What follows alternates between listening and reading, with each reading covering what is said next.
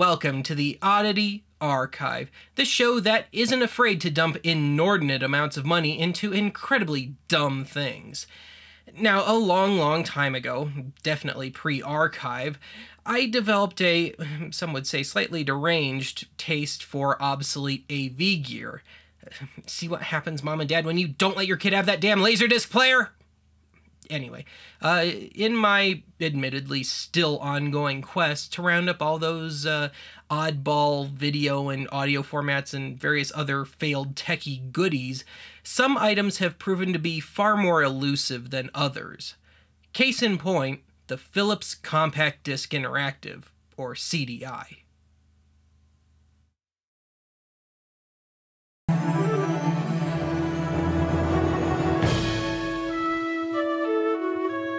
When you were a child and would walk into a toy store, it would look like it was the biggest store in the world. When I was a kid, there was this mall like place just south of Denver called Incredible Universe. This place was a little slice of hideously overpriced AV and computer nerd paradise. You had the main commons area and a few stores, each devoted to stuff like music and movies, computers, and household appliances. In the aforementioned commons area, there was a stage.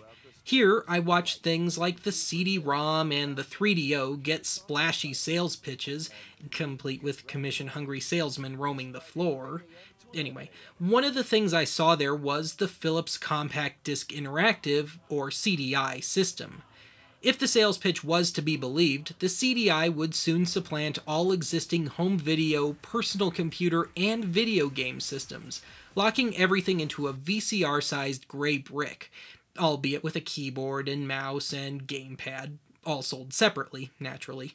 Of course, we never did purchase anything more than the odd video or audio tape at this place, but all the stuff we saw there managed to stick with me in the long haul, for better or worse.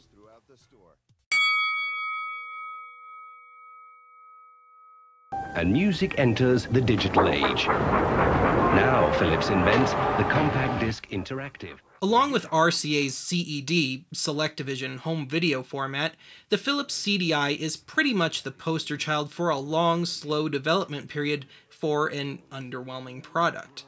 As far back as 1984, Philips, who'd invented the compact disc, and Sony were working independently of each other, trying to create a variation on the CD that could include video and text, ultimately known generically as the Green Book standard. As a side note, in 1988, the two companies joined forces for further developments, though the deal ultimately fell through. Anyway, in 1985, Matsushita, aka Panasonic, began work on the hardware side of things for a proposed new multimedia device. In 1986, the CDI was publicly announced, and the first prototypes of discs and players surfaced for industry insiders the following year. In 1988, the first CDI prototypes were sent to potential developers, which ultimately included LG and Grundig. For the next few years, the CDI seemed to get hung up in a seemingly never ending series of legalities, revisions, and scrapped collaborations. The most notable of the latter being the task of developing a CD add on prototype for Nintendo's then unfinished Super Nintendo. On another side note, in the end, Philips did get the licensing from Nintendo to develop a few games featuring some of their characters, like the Super Mario Bros. and Zelda. If I can use it, anybody can. I mean, I can't even set my VCR. It's very sharp, it's very clear. Um, the wonderful photography that they've put in along with the, the graphics is tremendous. It's educational. In October of 1991, Philips finally issued the CDI, in North America only, in two variations one for professional users, namely the 601 model, and one much simpler version for consumers. The consumer unit, according to a period New York Times article, sold for $1,000, 1,100 or more if you wanted the video cartridge, you know, to watch movies. Anyway, initially, Philips opted to chase the professional market, trying to get their systems into schools and some businesses. This proved to be unsuccessful. In 1993, Philips shifted its focus to the consumer end of things, advertising their product via, actually, this infomercial it also proved unsuccessful.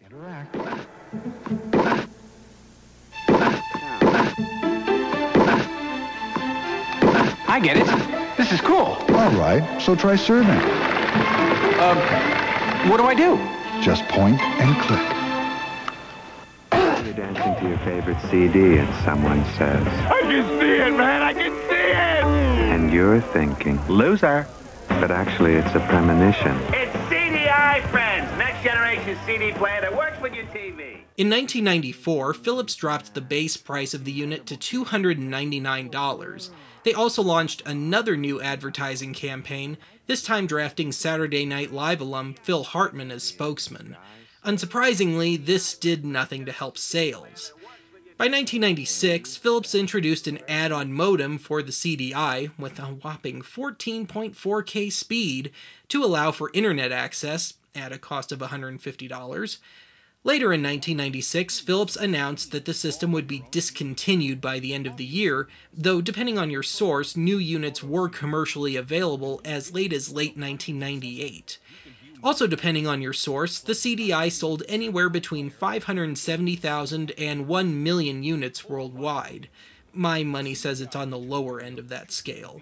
In the end, Philips reportedly lost some $1 billion on the CDI project.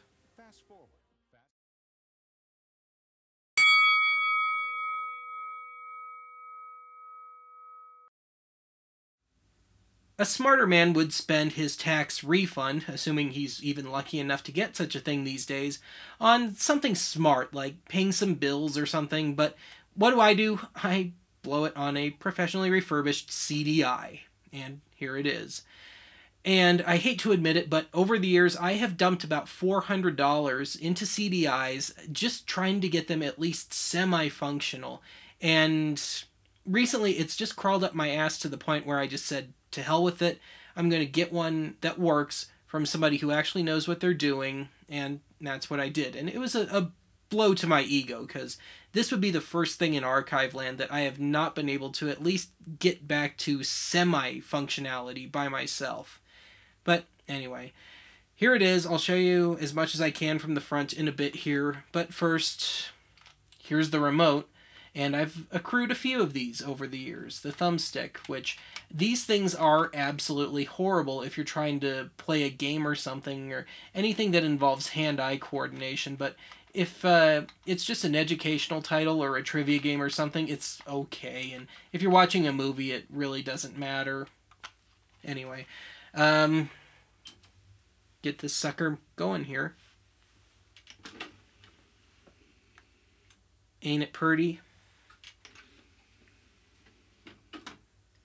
And if I pull this flap down here, you've got some inputs here. You've got a spot for a wired controller, which, alas, I do not have one. Maybe someday. And there is a second one, but it ain't anywhere nearby. And in the center, we've got an eighth inch headphone jack and a volume knob next to it. So it's a bit like the 3DO in that regard, although this is, of course, a bit older. And there you go. Let's take a look at the back here just so you can uh, get a better look at everything here. And we have got, just quickly going through it, AC. We've got, uh, finally, at long last, the second controller input. I have no idea why they did it that way. And we have, it says RCA remote, this orange port here that I'm going around. And I've never seen a remote that runs on something like that. I guess I'll have to turn in my AV Geek card for that. And uh, anyway, we've got the classic yellow RCA out. We've got S video. We've got coax and a channel switch. We have RCA stereo out. And of course, the big old hole for the digital video cartridge, which because I love you all so much, I actually took it out just so you could take a look at it. And I don't know how many pins it is, but it's kind of a video gamey sort of thing and you just pop it in and there's a couple of screws that hold it in. And i've noticed that it comes loose fairly easily so i've already had to take my working unit and pop the cartridge out and back in just to keep it working the way it should. I that's kind of a pain in the ass but anyway that's it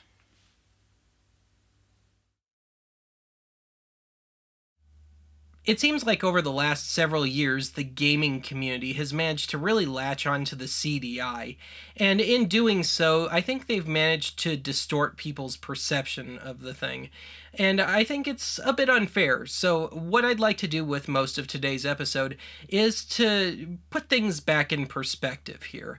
I mean, yeah, it was kind of a half baked gaming console, and yes, the CDI had its problems, to say the least, but again, to write it off as a half baked gaming console is really selling it short. I mean, uh, it was also a half baked home video unit and uh, a half baked personal computer. You know, CDI can bring you a variety of experiences like education, entertainment, enrichment. You can watch a movie, but that's not all. You can play that romantic CD and dance with your wife by moonlight put in a learning disc, and you're able to help your children grow intellectually. See what I mean? Anyway. Uh, like the 3DO, the CDI will play your music CDs, and it'll also play those CDG discs that we talked about on that episode. But more important is the CDI's capabilities as a home video unit. Now, early on, the CDI was actually, for all intents and purposes, a proprietary format. I mean, they made discs according to the Green Book standard that I very briefly mentioned earlier. And these discs will only play in a CDI player. And this had more to do with the fact that, for all intents and purposes, again, the standard video CD or VCD format just hadn't quite been solidified yet. But Philips wanted their thing out on the market, and they got it, and they just put out their own discs that will only play on a CDI. Now, once the VCD standard really got flattened, so to speak, they revised their setup and they conformed to that standard. And these later CDI movie discs you can play in most computers, Blu ray players, and some DVD players. And the easiest way to figure out if this is one of those titles is by seeing if it has this kind of radioactive green stripe on it. It says movies and uh, you don't need a CDI player. So if you want to do a little collecting just for the hell of it and still want to be able to use it, you know, if you can find any of these, it'll do you. And it'll also usually say something to the effect of compact disc video or something. I mean, uh, this one says video CD in the bottom right corner. But uh, anyway, I'm sure you'd like to see some clips of the basic old school Green Book standard discs and I will show them to you, and uh, you're going to be very disappointed because it's just a VCD, meaning it's about on par with a decent VHS tape.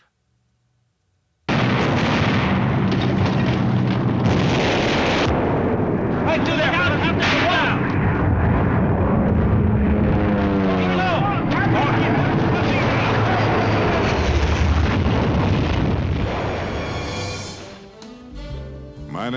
Sergeant Frank Drebin, Detective Lieutenant Police Squad. I was in the middle of getting my car washed when I heard the call over the police scanner. There'd been a bombing downtown, and I was on my way to advise the D.C. police as part of the president's Operation Scum Roundup. In the CDI's quest to become that low level personal computer that anyone could use, they unsurprisingly put out a lot of educational stuff. And of course, a lot of that stuff was for kids, and it follows all those chintzy early 90s stereotypes that you'd expect. I'm not going to discuss the stuff for kids, because in my opinion, it's the adult stuff where the CDI really gets its turn to shine. So, with that in mind, uh, who's up for some gardening? Oh, who am I kidding? Uh, this is way too hardcore for the likes of you.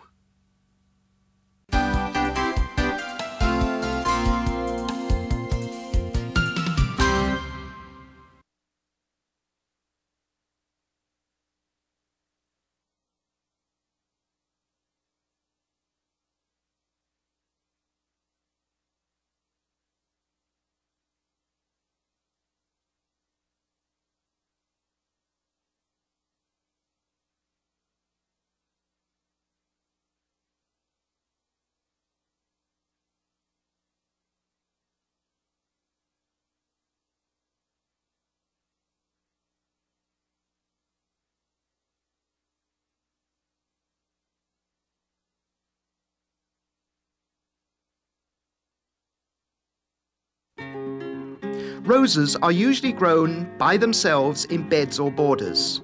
They are particularly happy in island like beds where they get good air circulation that helps prevent mildew.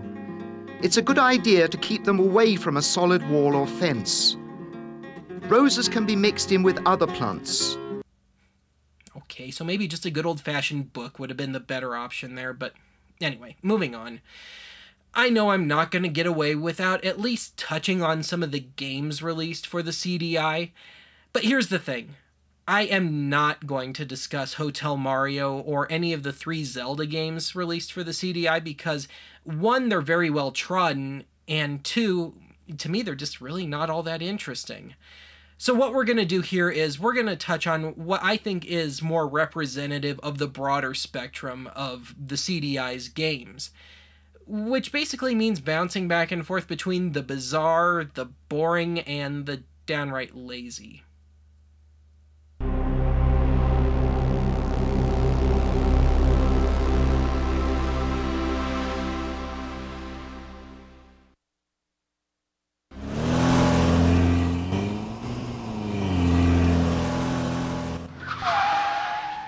Fasten your seatbelt.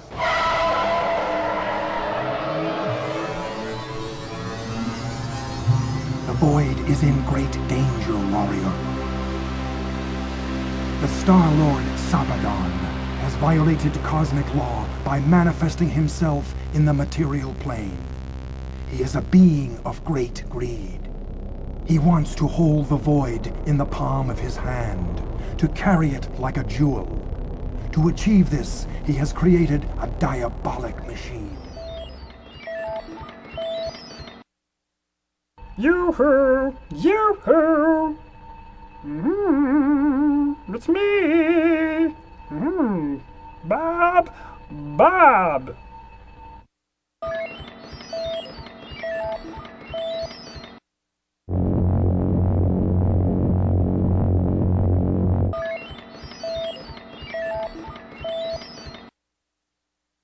On Tecton, you must learn the four analects of confusion and attempt to make contact with the variable.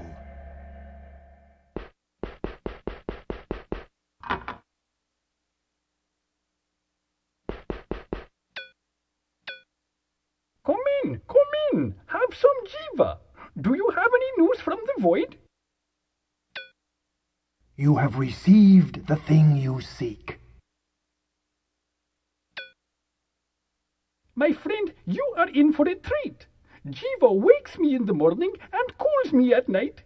Many a starman returns to taste my brew. I'm sure he wears an amulet. It is the family seal. If you meet him, say Raman to him. If he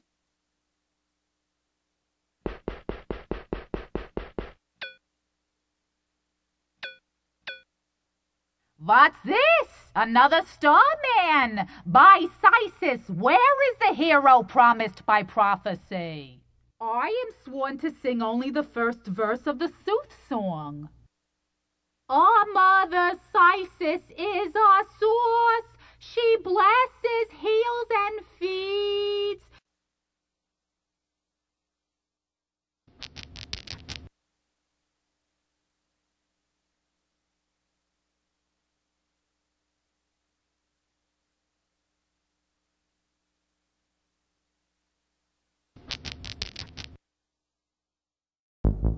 That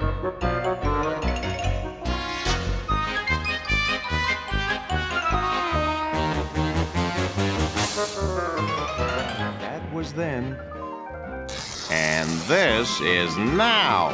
Hey, greetings, putters. I'm Rollo the Goofball. I mean, golf ball. Welcome to Wacky Golf, the miniature golf theme park that picks up where the other golf courses leave off. You're about to enter a fully enclosed, climate controlled marvel of CDI mini golf technology, and I'll be your guide.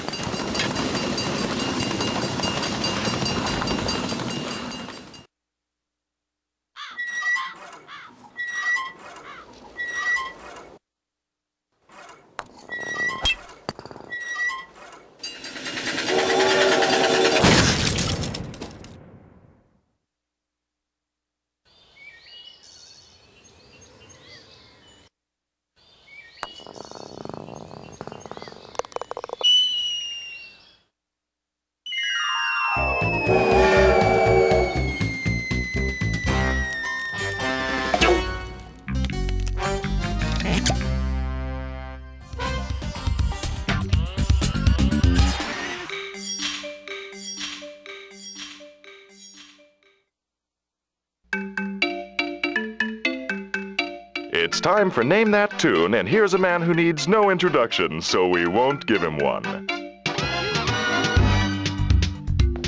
Hi, I'm Bob Goen, and I'm your host as we get set to play Name That Tune.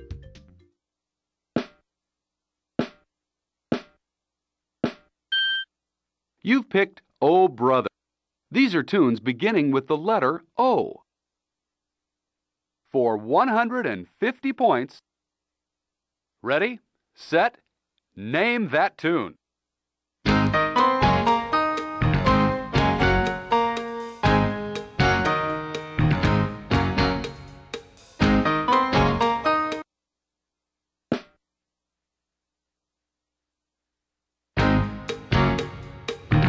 A hit for George Benson and the Drifters on Broadway.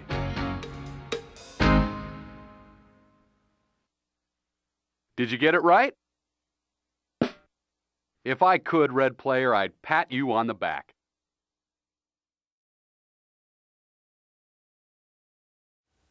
Now, of course, in the 3DO episode, we discussed some of the adult titles released for that thing. Well, I have one adult title for the CDI, and here it is Strip Poker Live, and uh, I don't think I need to tell you what that's about. But I was pretty happy to find this one in that I agree. It seems like a lot of the stuff we've discussed on Archive over the years, it objectifies women. And so with this one, you can kind of go in any direction. You can be a man playing against a woman, woman against man. You can do whatever you want with it. But it was also a real downer because this may actually be the most sexist thing I've ever seen. In that, if you're a man playing against a woman, at least as far as the computer is concerned, you have four women to choose from. Most of them aren't wearing much to begin with. And it you can play the worst game of poker in the world, and within 15 minutes you got her nude. Now, as for the ladies, you get one scrawny, pasty ass guy to choose from, and suddenly it becomes the most difficult game in the world. I mean, uh, I was determined, and I am happy to report that I succeeded. I have got something that objectifies men. It took me three grueling hours to do so, and it took every last bit of luck and skill I've got. But I was finally able to get something for the ladies. And so, again, ladies, this one's for you. Hi, who would you like to play with?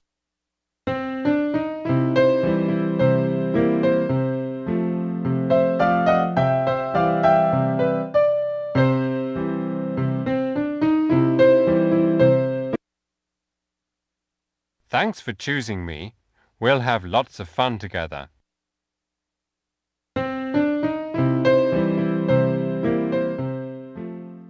I'll raise you fifteen. You won! I must sell some clothing.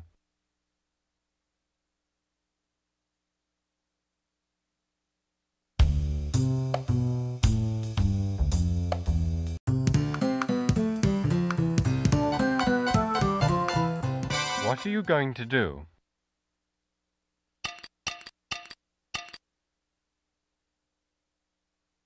I'll raise you ten. You won! I must sell some clothing.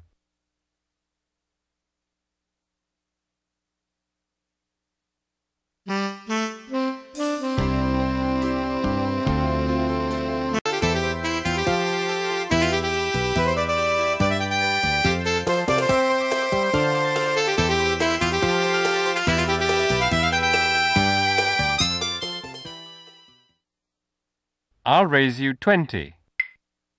You won! I must sell some clothing.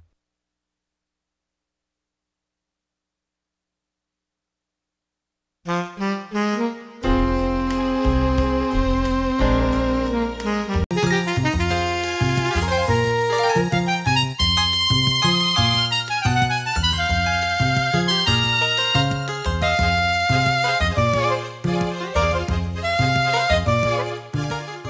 Are you going to do?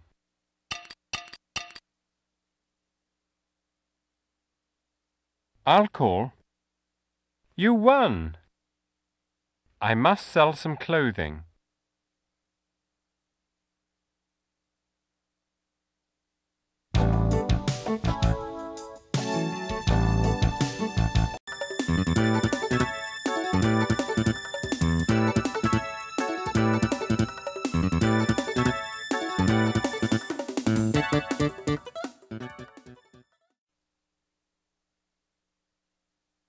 You want to play further?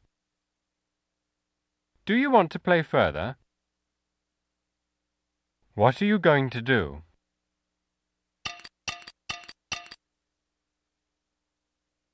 I'll raise you twenty. You won! I must sell some clothing.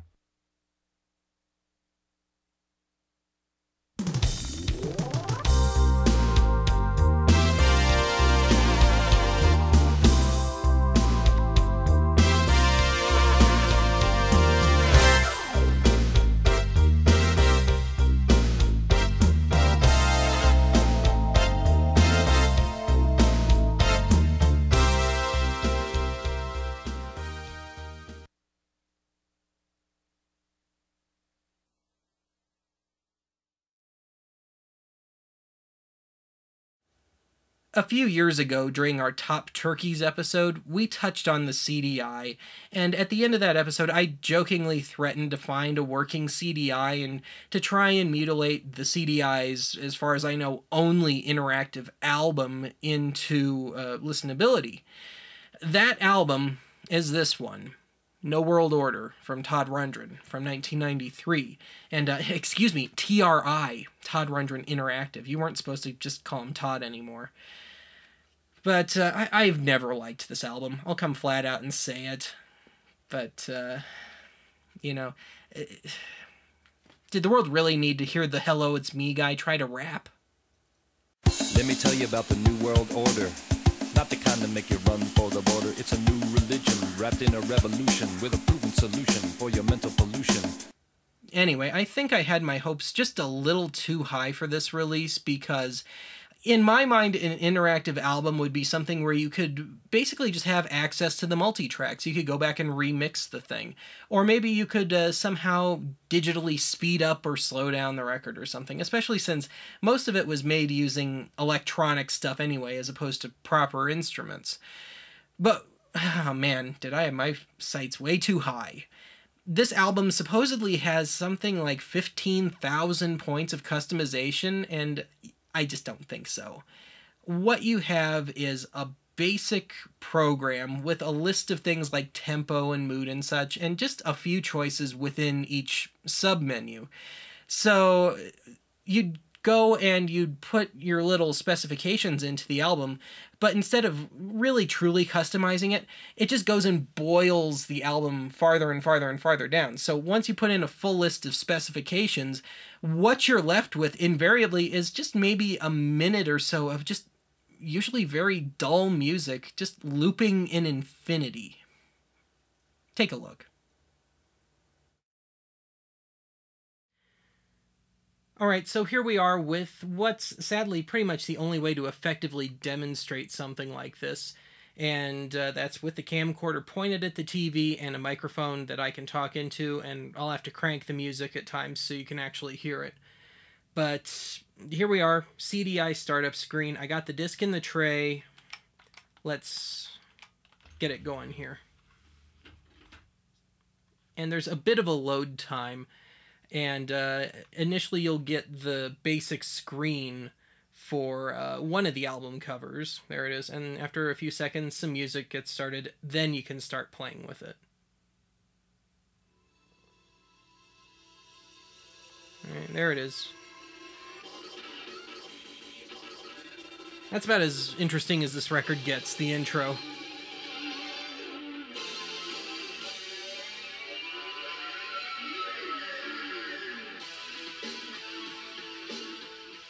Alright, so let's start playing with this thing. you have a bunch of options here, and this first one is program, which means just playing some predetermined mix of the record done by Todd himself, or Jerry Harrison, or Bob Clearmountain, or one of those guys. But let's start trying to customize it a bit here. So let's start with the direction. And we'll try and make this pretty obvious. We'll start with reverse, I guess. So it'll be reverse chunks of music, not necessarily as if it were playing backwards, but you'd play track 12, then 11, then 10, then 9. So form, we'll go easy, conservative.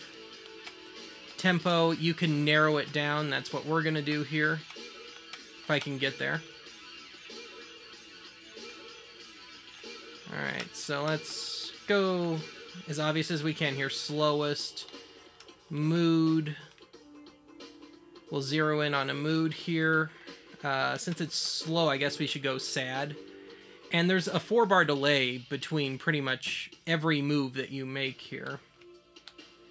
Alright, and mix. Let's try and make it karaoke, so it's theoretically instrumental, all instrumental, or at least uh, no lead vocal. Alright, karaoke. So this is what we got. And we have like three options for just generic video to play for this thing. So I guess I'll get one of those going. Alright, see what we get here.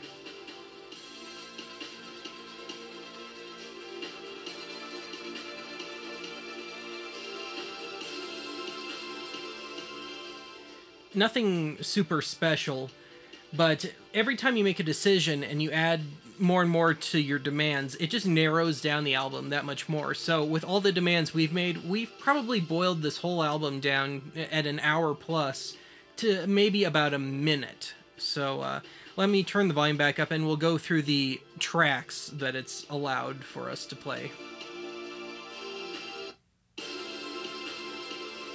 It's the same one. Yeah. Not the most versatile thing in the world. Alright, let's try and just go in the absolute opposite direction. We'll go thick. Mood, we'll go bright. Tempo, let's go fast. Direction very fast forward. That sounds the most extreme. And we'll give it a different video here. Alright, Swarm. Let's see what we get.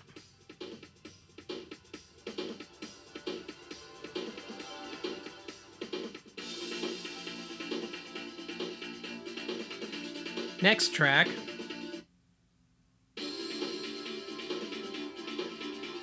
Are you noticing a pattern here?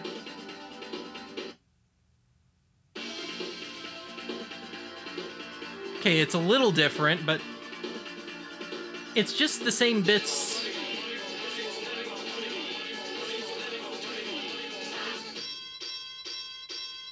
Okay, there's your weird. There you go. Wasn't that so worth $500 minimum?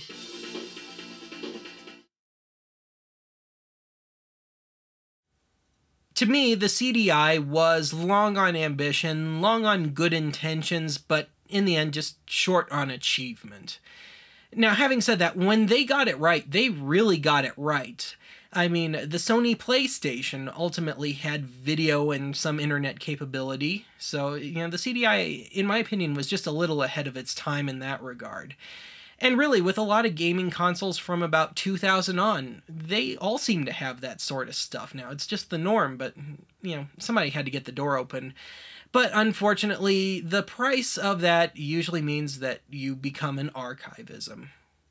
Anyway, that's it for today's archive. Join us next time when we're joined by Phil, you know, the uh, perpetually befuddled dad from the CDI infomercial, who will school us on the finer points of tennis for the CDI.